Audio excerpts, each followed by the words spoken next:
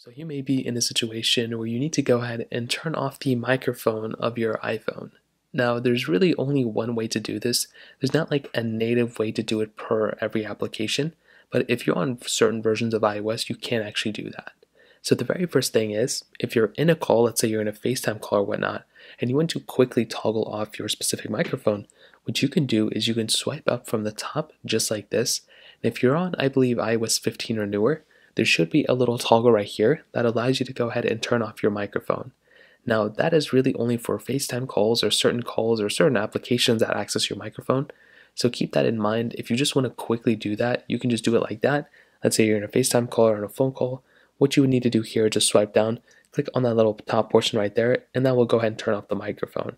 In this case, you could probably even replicate it under voice memos. So if I were to go into here and now if I were to start recording, if I swipe down, there should sometimes be a little toggle that allows us to go and mess with microphone, but uh, essentially here, that's basically an example. Now what we can do is if you want to turn off the microphone of an application, what you can do here is you can make your way over to your iPhone settings. So you can just go into iPhone settings like this.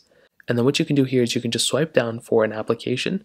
So in this case, you can swipe all the way down. And in this case, we'll just go into Instagram. And here you can actually disable the microphone toggle of these applications. So right here you have microphone. So right at the very end, all you really have to do is just go and turn off microphone and that is all you're going to have to do.